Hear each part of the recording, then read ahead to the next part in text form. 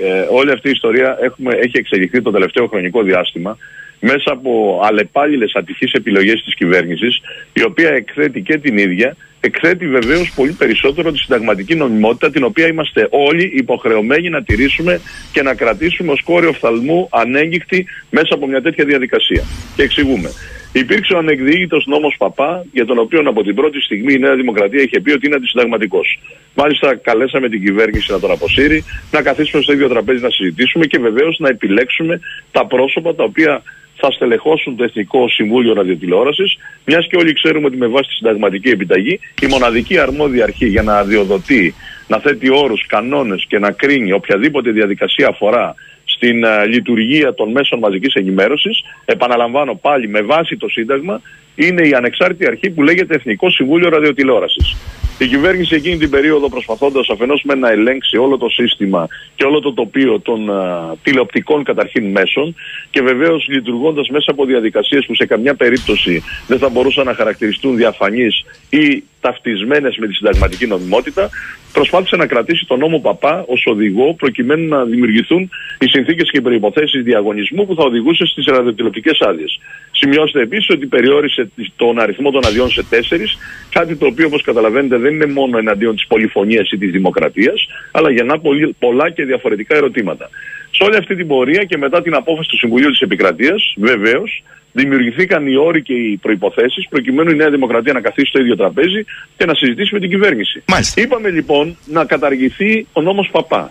Αυτή πάλι με μια συγκεκριμένη, αν θέλετε, τρίπλα, αντί της κατάργησης, βάλαν τον, νόμο, τον όρο αναστολής σε ένα συγκεκριμένο άρθρο. Και επιπλέον, ενώ όλοι ξέρουμε ότι οι, οι συνθέσεις των ανεξαρτήτων αρχών είναι προϊόν συνένεσης, ενώ συμφωνίας, συζήτησης, ε, κατάληξης σε πρόσωπα τα οποία από κοινού είναι αποδεκτά. Είναι μια διαδικασία και μια πρακτική, κύριε Σαχίνη, προσέξτε, έχει τηρηθεί ουσιαστικά από τη σύσταση των ανεξαρτήτων αρχών και μετά με, με, με, με βλάβια και με ακρίβεια από τα τότε πολιτικά κόμματα τα οποία επιχειρούσαν κάθε φορά να συνενέσουν ή να συμφωνήσουν. Θα σας θυμίσω ότι η Νέα Δημοκρατία είχε μια ιστορική αντιπαλότητα με το Πασόκ, αλλά πάντα συμφωνούσε σε τέτοιου είδους ζητήματα, είτε ήταν στην κυβέρνηση είτε στην αντιπολίτευση, και το ίδιο πρέπει να πω και για το Πασόκ. Εδώ λοιπόν έρχεται η κυβέρνηση με απολύτως δικές της προτάσεις, με μια αδιανόητη διαδικασία που προσέξτε, όχι ο πρόεδρος της Βουλής όσο έχει την υποχρέωση, αλλά ο Πρωθυπουργός συζητά με έναν υποψήφιο πρόεδρο του ΕΣΟΥΡΟΥ και με διαδικασίες που επαναλαμβάνω διαμορφώνονται ad hoc κατά τη διάρκεια της συζήτησης στην Επιτροπή. Ε, αυτό κύριε Τσιαρά, μου επιτρέπετε; Ε, παρακαλώ. Αυτό παρακαλώ. πάντως επειδή ήταν ε, ζωντανή χθες η μετάδοση, ναι. οφείλω να σας πω ότι τον κόσμο δεν τον χάλασε είδε μία ζήμωση ή δεν αφαιρείται ένα όνομα Α το εξηγήσει η κυβέρνηση πώς με τόση ευκολία το Βύρονα ε, ε, έσπρωξε το, το Βύρονα τράβηξε, αλλά είδε μια ζήμωση και είδε τα άλλα κόμματα της αντιπολίτευσης. τα επιχειρήματά μου, ωστόσο. Όχι, θέλω να σας ρωτήσω ευθέως. Εσείς βάλατε ένα θέμα της συνταγματικότητας. Κρίθηκε από το ΣΤΕ, περιμένουμε βεβαίως το σκεπτικό του.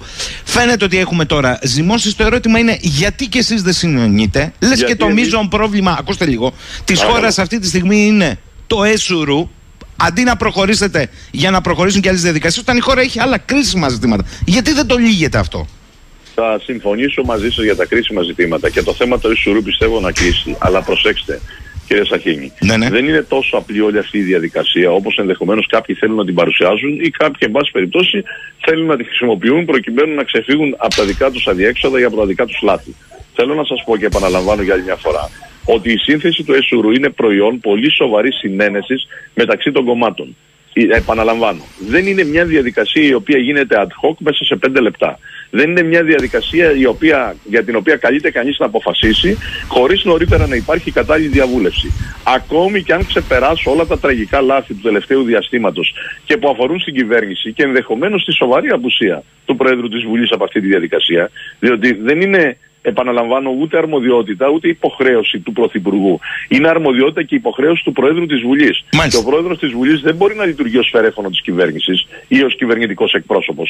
Πρέπει να λειτουργεί μέσα από την αυτοτέλεια και μέσα από το, αν θέλετε, το πλαίσιο των αρμοδιοτήτων που του δίνει ο ρόλος. Αντί λοιπόν να υπάρχει αυτό, επαναλαμβάνω, υπάρχει μια πρωτοβουλία του Πρωθυπουργού, ο οποίος πάλι τώρα βλέπουμε και ακούμε σήμερα από το πρωί ότι την Πέμπτη θα έχουμε ξανά διάσκεψη των Προέδρων. Δηλαδή τη διάσκεψη των Προέδρων, προσέξτε, την αποφασίζει ο Πρωθυπουργός και ε, ο Πρόεδρος της Βουλής. Κύριε Τσιάρα, πάντως λοιπόν, τον κόσμο τον ενδιαφέρει εγώ, ότι αυτή τη στιγμή. Δεν θέλω να μείνω σε. Ακούστε, σε τι, το καλαμπούρι, ο κόσμος ξέρετε τι λέει.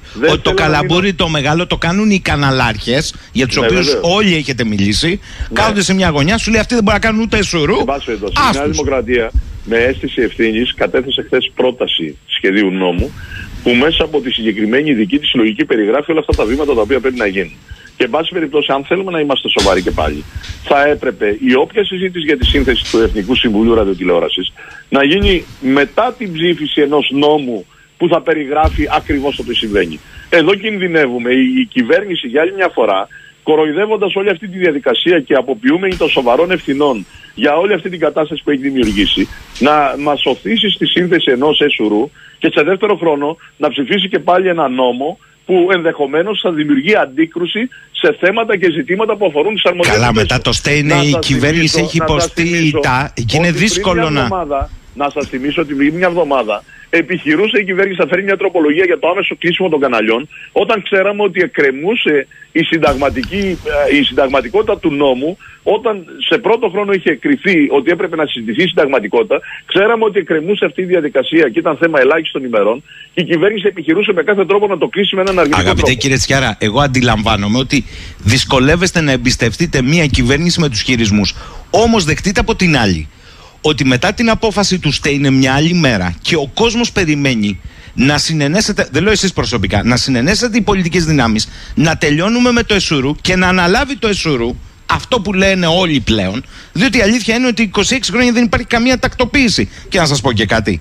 Επειδή είπατε και για το σχέδιο νόμου, με συγχωρείτε, εδώ μιλάτε σε ένα περιφερειακό μέσο. Μπορείτε να μου πείτε, σας παρακαλώ πάρα πολύ, ποιο περιφερειακό μέσο σε όλη τη χώρα, είτε ραδιόφωνο είτε τηλεόραση, έχει 3 εκατομμύρια ευρώ μετοχικό κεφάλαιο, γιατί αυτή είναι η πρότασή σας. Μπορείτε να μου πείτε, πού το βρήκατε ότι. Δεν, Για τα περιφερειακά μέσα δεν είναι αυτή η πρόταση. Τι λέτε, να σας διαβάσω; Ορίζει ω ελάχιστο καταβεβλημένο μετοχικό κεφάλαιο των υποψηφίων για τη χορήγηση άδειας εθνικής εμβέλειας το ποσό των 12 εκατομμυρίων, για τη χορήγηση άδειας παρόχου περιφερειακής εμβέλειας ποσό 3 εκατομμυρίων. Καλά, είναι μεγάλο το ποσό. Αλλά, ε, είναι μεγάλο, αλλά εσείς το προτείνετε ως Νέα Δημοκρατία. Ακόμη όμως και να είναι έτσι, θέλω να σας ε, πω το εξής. Εμείς κάνουμε μια πρόταση νόμου. Αυτό προφανώς είναι ένα αντικείμενο ε, και διαβούλευσης και συζήτησης. Και αυτή είναι μια πραγματικότητα την οποία σε ένα πολύ μεγάλο βαθμό μπορούμε να τη διαμορφώσουμε με βάση τα δεδομένα που ξέρουμε ότι ισχύουν ε, μια πρόταση νόμου που η οποία κατατίθεται από την πλευρά της αντιπολίτευσης. Ναι. Δεν έχουμε ψευδεστήσεις. Είναι σχεδόν απίθανο να υιοθετηθεί από οποιαδήποτε κυβέρνηση. Το ξέρουμε πάρα πολύ καλά. Εμείς όμως θέλουμε να δημιουργήσουμε ένα πλαίσιο συζήτησης, το οποίο η κυβέρνηση δεν το βάζει καν. Και μέσα από μια λογική ε, διαλυμένου καραβιού που πρέπει να μαζεύουμε τα σανίδια δεξιά και αριστερά χωρίς να ξέρουμε πού βρίσκονται και τι θέλουμε τελικά να κάνουμε, προσπαθεί κάθε φορά να νομοθετήσει προσερχόμενη σε μια διαδικασία για την οποία η ίδια δεν έχει ξεκαθαρίσει τις προθέσεις της. Και αυτό από μόνο της είναι το μεγάλο πρόβλημα. Το ζήτημα όμως είναι το εξής, κύριε Σεκίνη, να, να, να, να, να βγάλω μια, μια είδηση από εσάς, επειδή είστε γραμματέας κοινοβουλευτικής ομάδα. μια τελευταία φορά και επίσης να σας πω ότι και εγώ προέρχομαι από την ελληνική περιφέρεια. Ε, γι' αυτό σας το είπα. Το, κέντρο, το γνωρίζω. Άρα ξέρετε ότι 3 εκατομμύρια μετοχικό κεφάλαιο δεν θα το βρείτε πουθενά. Εκ, εκ τη θέση μου, εκ του ρόλου μου και βεβαίως από τα, τα χρόνια που είμαι βουλευτής, έχω τη δυνατότητα να συνομιλώ με ανθρώπους οι οποίοι αυτή τη στιγμή είναι οι άνθρωποι οι οποίοι κινούν τα περιφερειακά μέσα μαζικής ενημέρωσης. Κύριε Τσιαρά, γνωρίζω ότι είστε ένας από τους μαχητικούς περιφερειακούς βουλευτές. Δεν σας το είπα τυχαία. Ξέρετε ε, πολύ καλά ότι 3 εκατομμύρια, να σας το πω εγώ πιο ιδέα. Ο ναι, κύριος Σαββίδης, ο κύριος Αλαφούζος, ο κύριος Μαρινάκης τα έχουν να έρθουν στην περιφέρεια. σε περιφερειακό μέσο. Είναι κατανοητό αυτό. Δεν, είναι, δεν χρειάζεται να το συζητάμε. Ε, θα σας είμαι ειλικρινής, δεν το είχα υπόψη μου ότι είναι αυτό το νούμερο. Είχα μείνει μόνο στον, στον, στο ποσό το οποίο ζητώνταν για τα, περιφερεια, για τα κεντρικά και πανελλαδικής εμβέλειας κανάλια. Το οποίο για μένα αφάνταζε λογικό με βάση το τι είχε εξελιχθεί στο διαγωνισμό παύλα παροδία που έκανε η κυβέρνηση νωρίτερα. Θα μας δώσετε την είδηση. Είστε γραμματέας κοινοβουλευτικής ομάδας. Ενδέχεται την Πέμπτη, εάν υπάρξει μια άλλη διαμόρφωση ως προς τη σύνθεση, αφού είναι δεδομένο η κυβέρνηση και να θέλει να κάνει ένα βήμα πίσω και να ξαναφέρει τον νόμο, δεν μπορεί πια. Αυτό το έχουν καταλάβει όλοι. Σκέφτεστε, εφόσον υπάρξει ένα χτένισμα, να πάμε σε μια συνένεση Διότι επαναλαμβάνω, το ξέρετε καλύτερα μου εσείς. Δεν σας κάνω εγώ μάθημα. Άλλα είναι τα κρίσιμα. Μήπως πρέπει να τελειώνουμε με το Εσουρού; Κοιτάξτε, εμείς δείξαμε αυτή την πρόθεση από την πρώτη στιγμή. Όταν ε, κρίθηκε η αντισταγματικότητα του νόμου, είπαμε ότι είμαστε εδώ προκειμένου να συζητήσουμε με την κυβέρνηση και να προχωρήσουμε τελικά στην στελέχωση του ΕΣΟΡΟΥ. Είναι μια θέση της Νέας Δημοκρατίας η οποία εκφράζεται από τη θεσμική της προσέγγιση και από την ε, γενικότερη θεώρησή της για το ρόλο και την παρουσία των ανεξαρτήτων αρχών. Σας επαναλαμβάνω για τελευταία φορά, κύριε Σαχίνη. Η κυβέρνηση κοροϊδεύει. Και λυπάμαι πραγματικά που και τα άλλα κόμματα μπήκαν σε μια λογική εντός εισαγωγικών συναλλαγής με την κυβέρνηση και ψηφίσαν ναι χθες, ενώ ξέραν ότι όλα αυτά τα θέματα ήταν ανοιχτά και έπρεπε στην πραγματικότητα να τα κλείσουμε με τη θεσμική προσέγγιση και όχι με μια προσέγγιση η οποία υπαγορεύονταν από το αν κάθε κόμμα θα μπορούσε να έχει ένα ή περισσότερα μέλη εντός εισαγωγικών σε αυτό το, το καινούριο Διοικητικό Συμβούλιο του Εθνικού Συμβουλίου Ραδιοτηλεόρασης. Εμείς έχουμε την εξής άποψη. Εφόσον η κυβέρνηση θέλει να λειτουργήσει μέσα από τη θεσμική διαδικασία, είμαστε εδώ ας δείξει με τις δικές της πρωτοβουλίες και με τα δικά της βήματα ότι θέλει πραγματική συνένεση στη στελέχωση των προσώπων και αυτό μπορεί να είναι ένα προϊόν πραγματικά ε, σοβαρής προσέγγισης και συμφωνίας και από την πλευρά της Νέας Δημοκρατίας.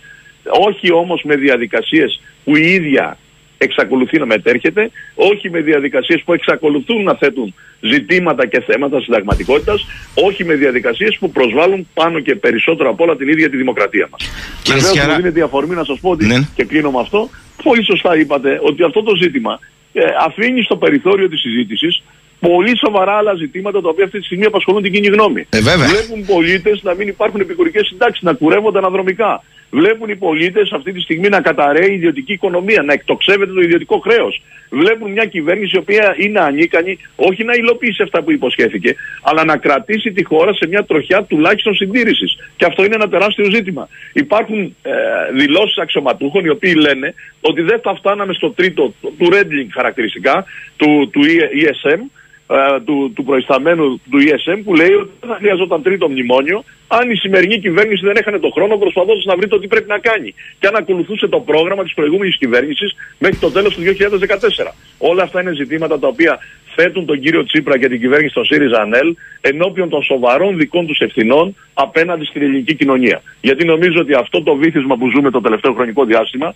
δεν είναι προϊόν αν θέλετε, μιας κακής πραγματικότητας που γυροδοτήθηκε σε αυτή την κυβέρνηση, αλλά είναι προϊόν άθλιων δικών της χειρισμών, σχεδίων B, X, που μπορεί να εκφράζονται από τον κύριο Βαρουφάκη ή από ανθρώπους που αυτή τη στιγμή βρίσκονται εκτός ΣΥΡΙΖΑ, αλλά που στο μυαλό πολλών από αυτούς που σήμερα εξακολουθούν να είναι στην κυβέρνηση υπάρχουν ως μη ξεκαθαρισμένες πρακτικές ή ως μη ξεκαθαρισμένες πορείες που πρέπει η χώρα να ακολουθήσει.